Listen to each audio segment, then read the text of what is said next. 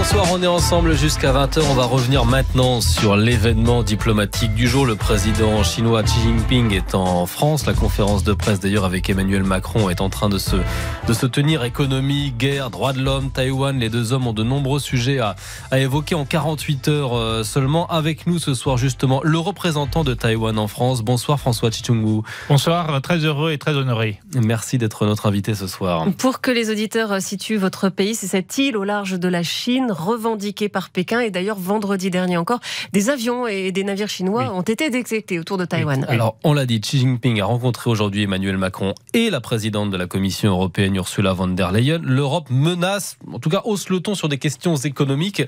Mais on n'a pas entendu pour l'instant de déclaration forte au sujet à la fois des droits de l'homme et de votre pays, Taïwan. Est-ce que vous le regrettez? Alors, je, je crois pour le moment, je ne le regrette pas. Ce que j'espère, c'est que M. Emmanuel Macron passera des messages euh, en privé avec, euh, euh, avec M. Xi Jinping, parce que je crois actuellement, le sujet principal, c'est la guerre d'Ukraine.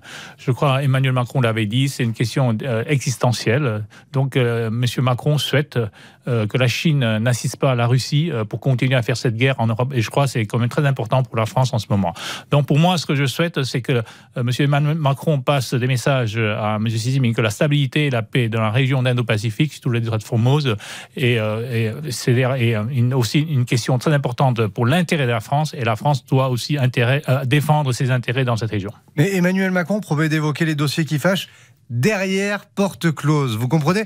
Cette prudence diplomatique en fait qui, qui prennent pas position officiellement et de façon pas cachée pour Taïwan alors, il euh, y, a quand même une question de puissance, parce que la Chine est très forte pour diviser euh, l'Europe.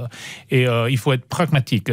Si vous regardez que récemment aussi le, chancelier allemand, M. Scholl, qui, été en, qui avait amené plein d'industriels en, Chine, et je crois que ça pose beaucoup de problèmes en Europe, et donc la, France ne peut pas faire face à toutes ces questions tout seul. Donc moi, je suis conscient de toutes ces difficultés. Tout ce que je souhaite, c'est euh, euh, des messages qui continuent à être envoyés euh, à la Chine. Donc, ce ne sera pas simplement la France, les États-Unis, le Japon, l'Allemagne, le Canada. Si tout le monde se met dans cette même position d'envoyer des messages à la Chine, et je pense que comme ça, on pourra vraiment contrôler cette paix ou cette stabilité dans la région. Quand Emmanuel Macron est rentré de Chine il y a quelques mois, il a tenu ses propos dans l'avion. La pire chose serait que nous soyons suivistes des États-Unis sur le sujet de Taïwan.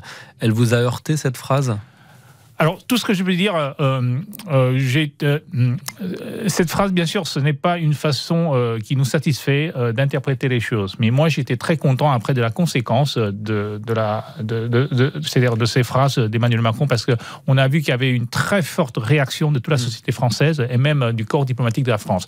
Et je trouve que c'est ça qui était, qui était très important. Ça montre très bien que, que, les mondes, que le monde, une, grande partie du monde démocratique et, et industriel soutient Taïwan très fort et soutient surtout le, statu quo et la stabilité de la région. Discuter avec la Chine, ça a quelque chose de presque euh, schizophrène non, pour nous les Européens, parce qu'il y a des affaires d'espionnage euh, euh, chinois en Europe.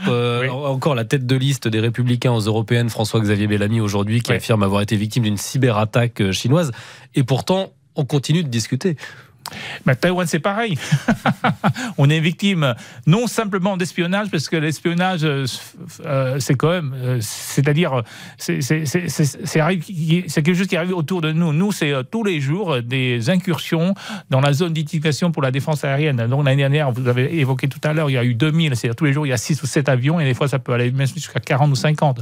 Et les Japon, ce sont des incursions maritimes. L'année dernière, ils ont eu 700 800. Donc, des pays dans la région, c'est encore plus grave, parce que des, des bateaux de guerre, euh, des, avions, ça peut vraiment déclencher une guerre. Tandis que l'espionnage, bon, je veux pas dire c'est pas c'est pas important, mais ça nous laisse quand même encore dans, la paix. Parce que nous nous craignons beaucoup à Taïwan, au Japon, euh, euh, chez les Philippins. C'est vraiment cette provocation militaire venant de la Chine qui essaye d'imposer leur position et qui titille tout le monde tous les jours avec toutes ces, capacités militaires et qui vraiment qui inquiète tout le monde dans la région. Mais ces intimidations sur le terrain autour de Taïwan, vous en parliez à l'instant, elles fonctionnent. Est-ce qu'elles effraient les Taïwanais? Est-ce que chez vous, on a peur d'une guerre, par exemple? Alors, euh, d'abord, euh, je crois qu'on est déjà habitué à, à toutes ces euh, menaces chinoises. Et je dois dire, les Taïwanais ont quand même peur. parce que les Taïwanais sont comme les Français. Tout le monde veut la liberté, veut la paix, veut la démocratie, veut vivre dans la prospérité. Mais en, en, ayant dit ça, Taïwan aussi c'est un pays résilient. Donc il suffit de voir récemment, il y a eu un séisme au-dessus de magnitude de 7. On a quand même très bien résisté. Donc Taïwan se prépare. on a aussi prolongé le service militaire. On vient de construire, de sortir notre propre de fabrication nationale qui a été aidé par les Américains et les Britanniques. Nous augmentons aussi notre budget de défense militaire et ce qui est en train de faire aussi la même chose les, les, les, Japonais et puis les Philippins. Et d'ailleurs, je, dois dire aussi, on a de plus en plus de soutien parce que même il y, a, le, chancelier allemand Scholl qui était allé en Chine, mais la ministre des Affaires étrangères allemande vient de déclarer il y a quelques jours que l'Allemagne allait participer à une, à manœuvre militaire dans la région et donc n'excluait pas de faire passer une frégate allemande dans la région. Et ça, c'est vraiment, c'est tout nouveau ça. Oui, ça, ça ne s'est jamais arrivé. Mais pour qu'on comprenne bien, pourquoi la Chine veut à tout prix remettre la main sur Taïwan? Parce que parce qu'une démocratie euh, dans un territoire où on parle chinois, c'est vécu comme un affront? Alors, ça, c'est, je pense, c'est, on ne va pas dire que ce sont tous les Chinois, euh, mais c'est surtout pour M. Xi Jinping, le système politique de la Chine, c'est un système euh, totalitaire. Donc, pour eux, ce qui menace ce système politique, justement, c'est la liberté. Donc, la Chine a détruit la démocratie à Hong Kong, euh, vous le savez très bien, et pour Taïwan, pendant la crise du Covid-19, a pu montrer qu'avec la démocratie et la liberté, on pouvait aussi très bien gérer la crise du Covid-19. Et je pense que ça, c'est quelque chose de très dangereux pour M. Xi parce qu'il a prouvé qu'une société sinophone peut très bien vivre aussi avec avec la démocratie, mm. avec les valeurs universelles. Ça, c'est la première chose. Deuxième chose, je pense qu'il faut, il faut noter euh, que M. Xi Jinping, il y a dix ans, en, 2014, avait dit à M. Obama, à l'époque, que euh, l'océan Pacifique était assez grande pour permettre à deux puissances de coexister ensemble. Et vous savez, il y a, euh, je crois, une, deux semaines, qu'est-ce qu'il avait dit à M. Blinken, Anthony Blinken, le secrétaire d'État américain en visite en Chine, il dit maintenant le monde est assez grand pour permettre à deux superpuissances de mm. coexister ensemble. Vous voyez, l'ambition chinoise, justement, c'est de dominer le monde, de conquérir euh, Taïwan, de aussi prendre la main sur le savoir-faire des semi-conducteurs taïwanais, maintenant qui est crucial. Je, vous je peux aussi vous dire encore un chiffre. Maintenant, ce, qui, ce qu'on nous parlons beaucoup sont l'intelligence artificielle. L'intelligence artificielle doit se reposer sur les euh, semi-conducteurs les plus avancés. Alors, Taïwan, en général, euh, détient déjà la fabrication de 92% des semi-conducteurs les plus avancés, mais de ce qui concerne l'intelligence artificielle, c'est 100% made in Taiwan. Ça veut dire que Taïwan est un enjeu aujourd'hui commercial aussi, parce que 60% des conteneurs du monde passent aussi par le détroit de, de, Vous avez, Formose. Tout, avez raison. Alors, les, ça, c'est en général, les conteneurs, 60% passent par le détroit de Formose, mais les, les conteneurs les plus gros du monde, hmm. c'est 85%.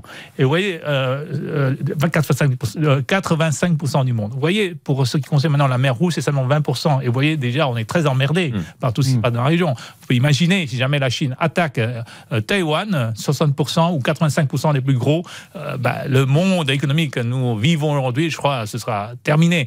Donc, euh, je crois le plus important, c'est qu'il faut travailler ensemble. Il faut aussi euh, mesurer nos capacités et continuer à envoyer des messages à la Chine. C'est ça que moi, je pense qui est le plus important.